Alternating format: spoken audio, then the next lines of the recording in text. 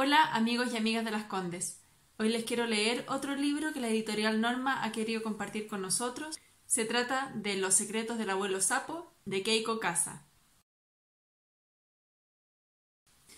Un día, abuelo sapo y sapito salieron a caminar por el bosque. ¿Sabes, sapito? dijo el abuelo. Nuestro mundo está lleno de enemigos hambrientos. ¿Cómo nos podemos proteger? preguntó Sapito. Bueno, declaró el abuelo, voy a compartir mis secretos contigo. Mi primer secreto es ser valiente. Debes ser valiente al enfrentarte con un enemigo peligroso. En ese preciso momento apareció una culebra. Hola, sapos, Siseó la culebra. Me los voy a comer de almuerzo.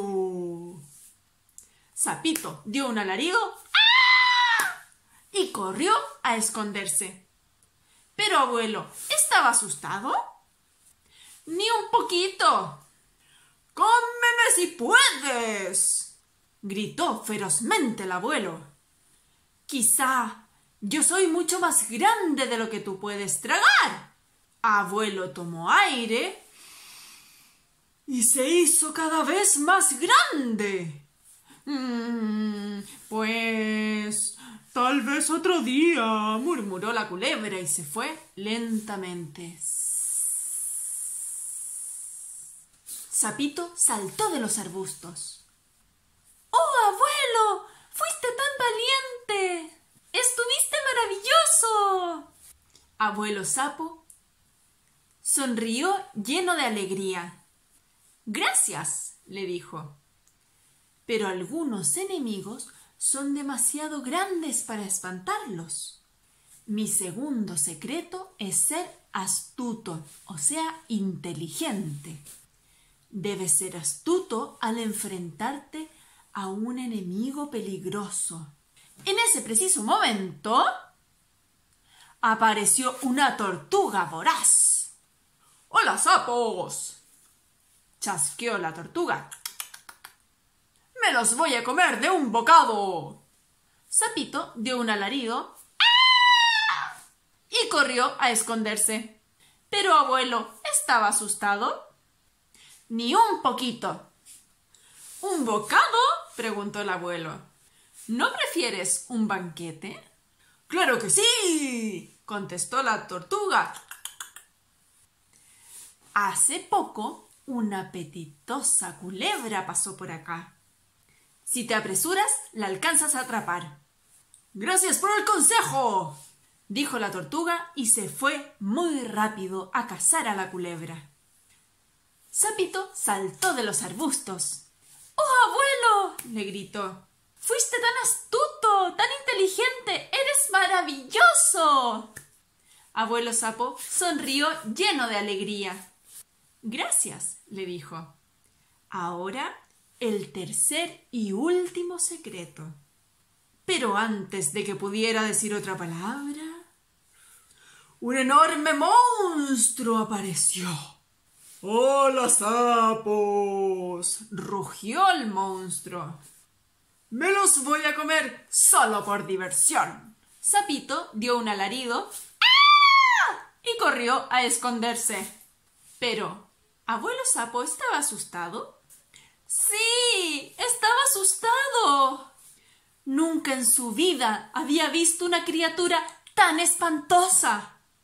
Intentó escapar, pero el monstruo lo atrapó. Sapito estaba escondido entre los arbustos, temblando de miedo, pero recordó los secretos de su abuelo Sapo. Ser valiente y astuto, ser valiente y astuto. Vio unas vallas silvestres y decidió rápidamente lo que tenía que hacer. Sapito le lanzó las vallas al monstruo. Las vallas se reventaron y le dejaron manchas rojas en las patas. El monstruo ni siquiera se dio cuenta. Estaba muy ocupado convirtiendo al abuelo sapo en un sándwich de sapo. Sapito salió de entre los arbustos con gran valentía. ¡Abuelo! gritó. ¡Deja libre al monstruo! ¿Qué? dijo el monstruo. ¿Qué? gritó el abuelo. Abuelo, dijo el sapito. No es muy amable de tu parte andar por ahí envenenando monstruos. Tu veneno ya le está subiendo por las patas. Pronto tendrá manchas por toda la cola y luego morirá. ¿No te da vergüenza, abuelo? El monstruo entonces se miró las patas. ¡Socorro! ¡Socorro! Estos sapos malvados me están envenenando. El monstruo corrió tan rápido como pudo, y abuelo sapo y sapito se abrazaron. ¡Uf! dijo el abuelo. Estuve cerca. Sí, dijo Sapito. Bueno, dijo finalmente el abuelo sapo. Pero aún no has escuchado mi tercer secreto. ¿Cuál es? preguntó Sapito. Mi tercer secreto es este, declaró el abuelo. En caso de emergencia, estar seguro de tener un amigo con quien contar. Sapito, fuiste tan valiente, fuiste tan astuto. Estuviste maravilloso. Esta vez fue Sapito quien sonrió lleno de alegría. Bueno, les quiero dejar unas preguntas para que puedan compartir con sus hijos y conversar acerca de este cuento.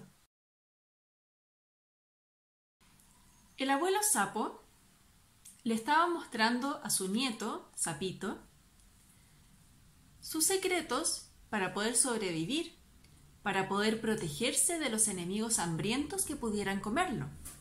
Entonces le enseñó tres secretos. El primero fue ser valiente. ¿Cómo le mostró el abuelo sapo su valentía a Sapito? Su segundo secreto fue ser astuto, fue ser inteligente. ¿Cómo le mostró el abuelo sapo la inteligencia a su nieto sapito?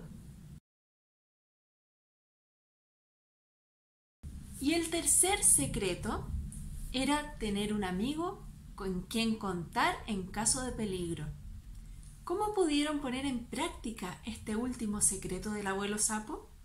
¿Qué pasó? ¿Cómo se salvó el abuelo sapo?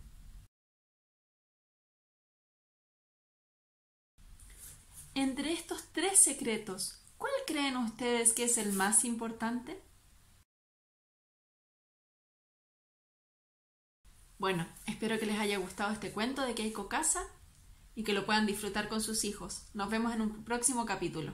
Adiós.